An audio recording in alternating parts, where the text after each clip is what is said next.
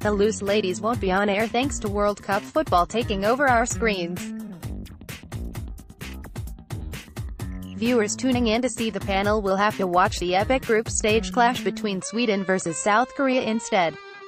Breaking the news earlier, the show's official Twitter account tweeted, Happy Monday.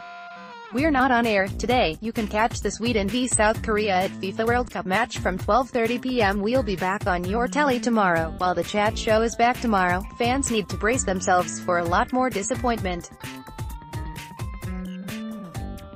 Loose Women won't be on our screens today. Loose Women will air as normal on Tuesday and Wednesday but will be scrapped again later in the week. Thursday and Friday's episodes will make way for more World Cup matches meaning Loose fans will only be getting two out of their usual five episodes this week. Thankfully next week the panel will be back in their normal slot all week. There's an obvious solution, Image, Rex, Shutterstock, gutted Loose Women viewers have taken to Twitter with their solutions to the scheduling issues.